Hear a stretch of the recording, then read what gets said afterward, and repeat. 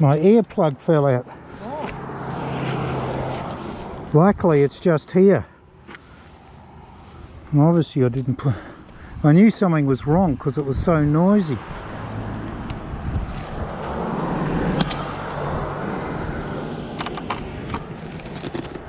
Ah, there's my other ones falling out.